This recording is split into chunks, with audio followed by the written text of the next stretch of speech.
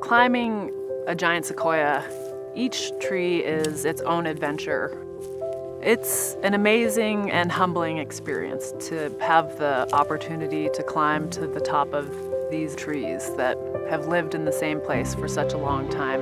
And so what you do when you show up at one of these trees is you take cord that we've already placed into the tree the prior year and attach your rope to it and pull it in, all 600 feet of it.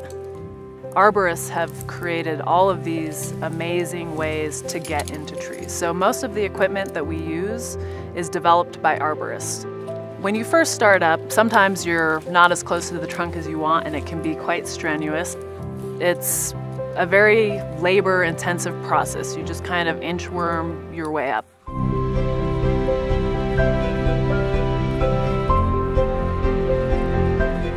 And then you start getting up into the branches. It's amazing when you look at your body next to one of them. I mean, it's they kind of dwarf you. You start to notice how complex and beautiful the tree is, and the climbing can become a little bit more difficult at that point because you have to navigate around all the branches. It's like, how did this thing get to be like this? It's really just mind blowing. You end up with some bruises, and definitely it's uh, a breathtaking process, literally, but that's when you're actually just starting to get to work. I mean, that's when you start collecting your samples, and that's where the science begins.